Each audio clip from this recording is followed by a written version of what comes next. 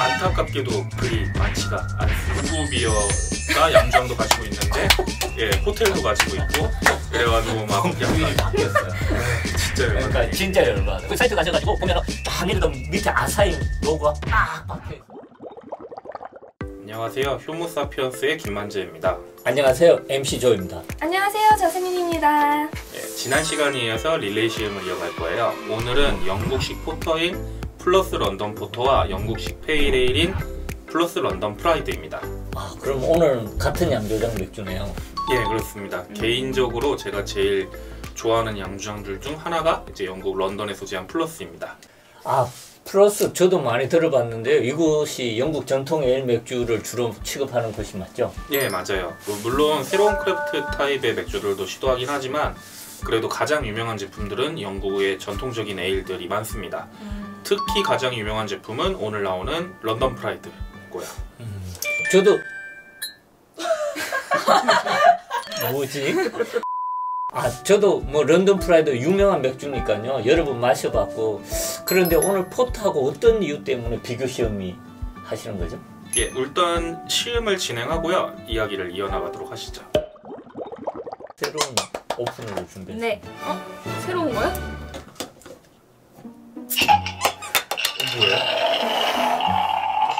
이게 어, 땀이 소리가 나네요, 소리가 망치에서.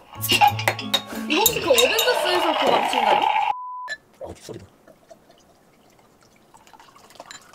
어, 이건 거품이 많이 안 나네요. 네, 아, 천천히 떨어져도 돼요. 아, 그런가? 거품이 좀 마지막에 조금 색깔 생기는 예쁘다. 이게 더 검은색이에요. 조금씩 맞춰보시죠. 음. 이제 한번 마셔볼까요? 예, 일단 포터는 저번 시간에 시음하셨지만 한번 또 마셔보고요. 음, 기억나요, 마시니까. 예. 그 다음에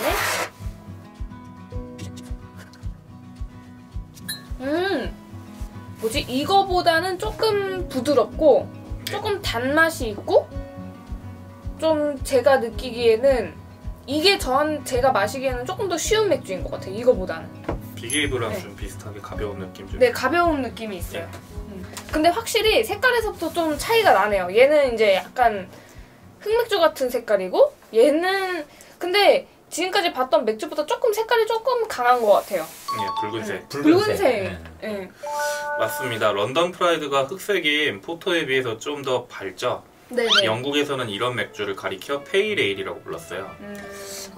그 pale ale요? 예, 그러면 pale이라는 단어가 좀 밝다, 뭐 연하다 이런 의미인데 지금 보면 밝은 색은 아니고 붉은 기가 많은데 맥주에.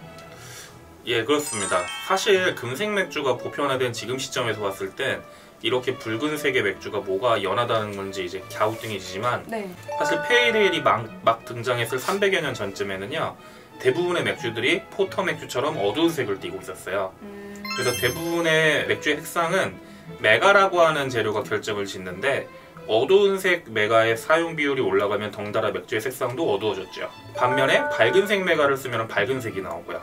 네. 그런데 영국에서는 옛날에 그러니까 밝은색 맥아를 만드는 기법도 없어서 밝은색 맥주를 만드는 기법도 없었기 때문에 대부분의 맥주가 포터나 스타우트처럼 어두운 색이었다고 합니다. 어. 아, 그러면 이게 포터에 비해서 밝다 이 의미네요. 상대성이네요. 예, 아, 그렇습니다. 아. 그리고 포터나 스타우트는 맥아 맛으로 점철된 맥주라 대체로 단 느낌이 강했거든요. 야, 뭐 음. 초콜릿이라든 카라멜, 카라멜이라는 걸 있었는데 영국의 pale ale은 홉의 느낌을 좀 더 살려서 쌉싸름함도 들어가는 편이에요. 그래서 그 당시 영국 사람들한테는 상당히 신개념의 맥주로 다가오게 됩니다. 근데 저는 이 크게 뭐랄까요 홉 이런 느낌은 못 느끼겠거든요. 저도요. 런- 런던 프라이드에서. 예, 런던 프라이드에서. 네, 그렇게 느낄 수 있어요. 음. 사실상 우리가 아는 pale ale은 이제 craft 맥주 양조장에서 다루는 미국식 pale ale이 좀 많이 알려져 있어요. 음. 근데 미국식 pale ale의 모태가 사실 영국식 pale ale이거든요. 네. 근데 미국식 pale ale은 이제 미국 홉을 사용하기 때문에 그 특유의 시트러스하면서 풀맛이 그리고 씁쓸함이 더 강한 편이에요. 영국 하면 저 음식도 저 영국 가본 적 있거든요. 근데 생각보다 음식의 종류가 좀 다양하지 못하고 항상 피쉬앤칩스. 네 진짜 어딜 가도 그리고 그냥 좀 근데 그래서 맥주도 당연히 조금 맛이 없을 거라고 생각을 했거든요. 예, 사실 맥주 세계에는 이런 얘기가 있어요. 라거 맥주 하면 독일이고 네. 에일 맥주 하면 영국이에요. 의외네요. 예, 그래서 본래 영국과 독일이 역사적으로도 많이 이제 티격태격하던 라이벌이었잖아요. 근데 맥주 쪽에서도 그래요. 음. 근데 사람들이 독일 맥주 하면 유명한 거 다 알죠. 근데 영국이 맥주로 유명하다고 하면은 의아해 분들, 의아해하는 분들도 많아요. 그럴 것 같아요. 영국하면 위스키 뭐 이런 쪽에 더 많이 생각할 것 같아요. 오히려. 예. 기네스 이렇게 생각하는데 사실 네. 기네스 생각하면 아일랜드 맥주고 어... 예.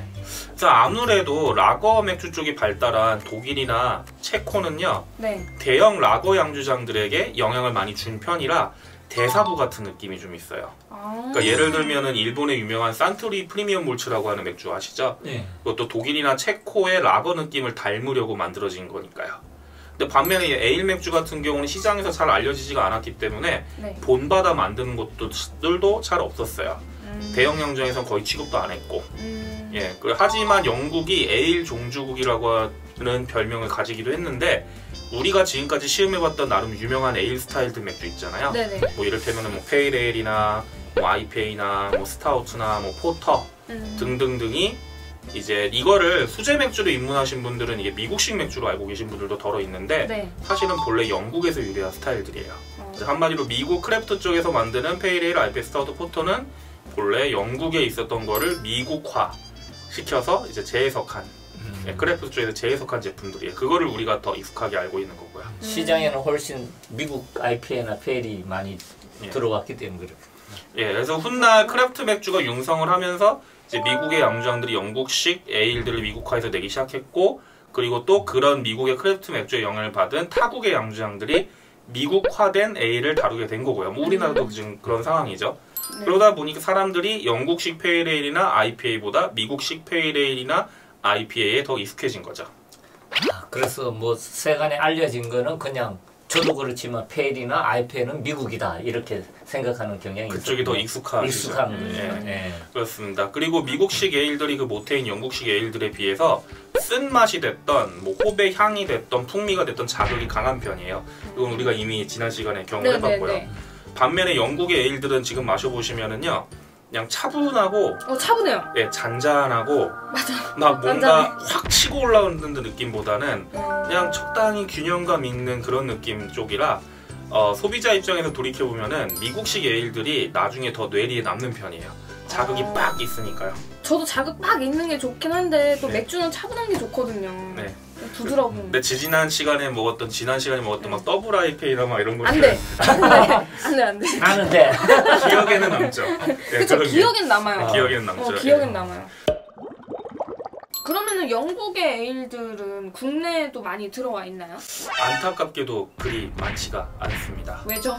그 수제 craft 맥주 시장도요 매년 성장을 하고 있는데 네. 대체로 미국의 영향을 받은 맥주들이 많은 편이에요. 음, 그래서 영국 전통 ale을 좋아하는 사람 입장에서는 아쉽기는 하지만 그래도 풀러스라도 몇몇 맥주들이 들어와서 다행이라고 생각하고 있어요.